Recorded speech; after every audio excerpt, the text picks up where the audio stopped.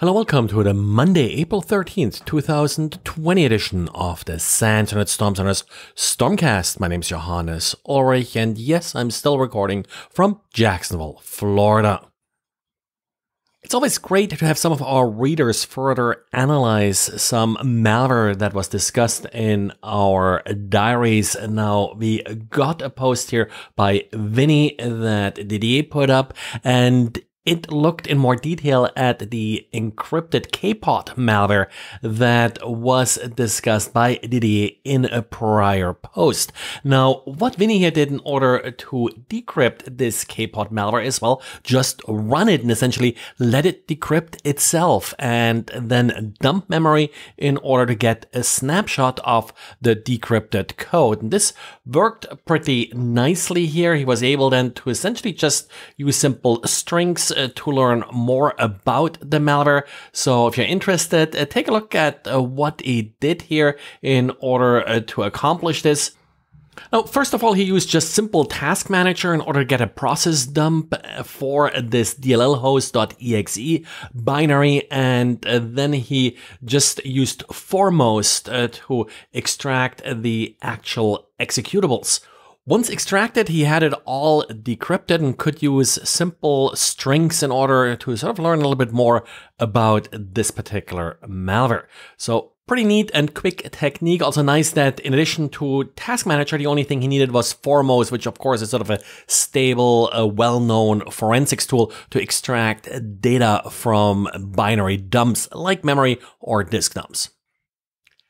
And if you are running VMware's vCenter server, it's time to update. VMware released a patch on Friday that addresses an information disclosure vulnerability with a CVSS score of a full 10.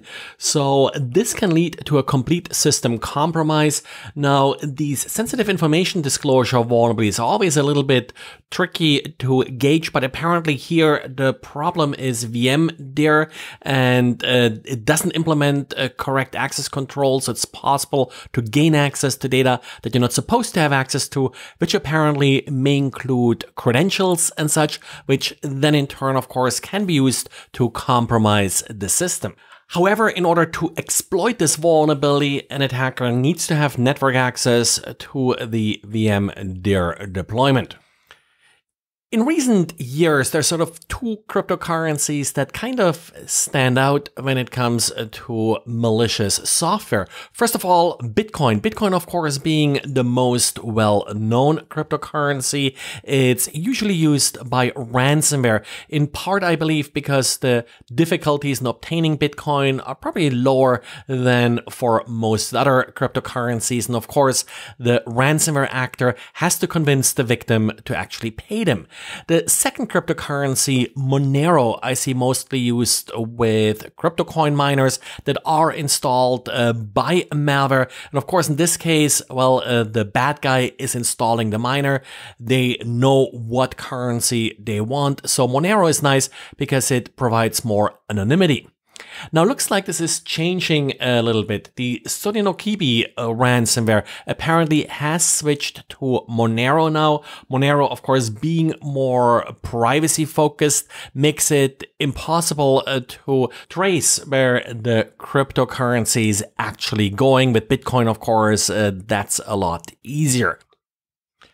And Bleeping Computer received reports that uh, Wiper, basically software that destroys systems by overriding the master boot record, is impersonating well-known security researchers.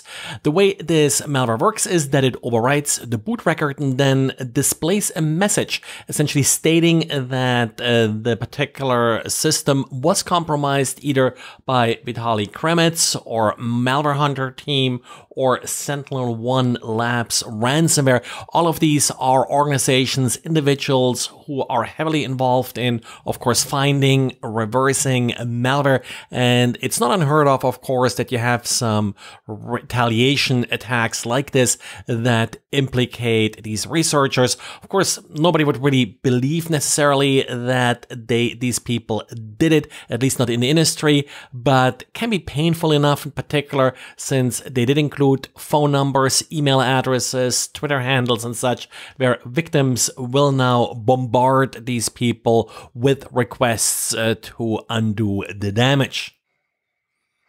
Well, and that's it for today. Thanks again for listening and talk to you again tomorrow.